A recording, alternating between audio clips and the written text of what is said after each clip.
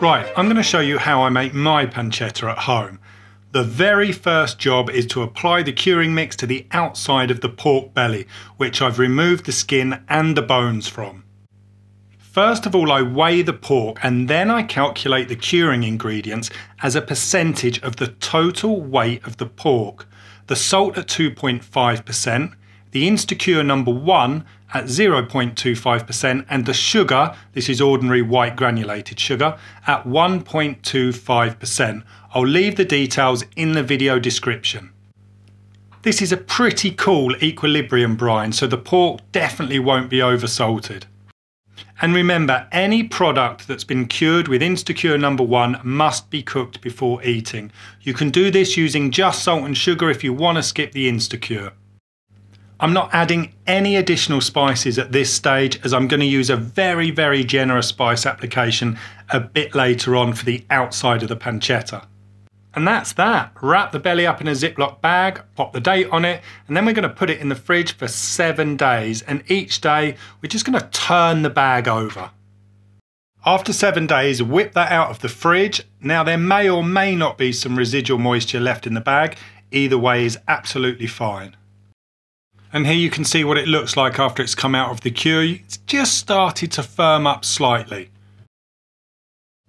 Now we'll give the pork belly a really good rinse under cold running water for a couple of minutes and then a quick pat dry with some kitchen paper. Into my spice grinder I've got one teaspoon of chili flakes, one teaspoon of fennel, two teaspoons of black pepper and one teaspoon of coriander seeds. I'm going to grind this up so it's pretty fine but still got a nice little bit of texture. Next, I'm going to coat the pork belly really well in the spice mix. I'm probably going to use more than most people here, but I absolutely love it. The perfume from the spices permeates through the meat and it gives it an awesome flavour. Of course, you can use any spice combination that works for you. I make pancetta specifically for my carbonara dish, and after lots of playing around with different spices, I've settled on this combination, although I'm sure I'm always going to keep tweaking it just a little.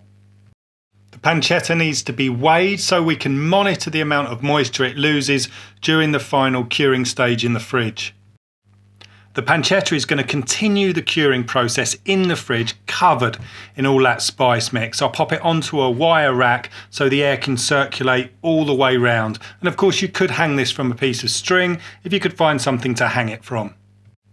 And here we go. I left this pancetta curing in my fridge for 15 days and it lost 23% of its weight. This is pretty much spot on for me. It's not too dry, but it sautés really well for carbonara and has an excellent depth of flavour. This feels so good cutting through the pancetta. It's got the perfect texture. Now, if you do try this recipe or any of my others, do let me know how you get on. You can tag me over at Instagram or let me know in the comments below. And that's it guys, this is how I make pancetta, my little secret weapon for my carbonara dish. Thank you very much for watching. I'll see you again very soon. Stay tuned.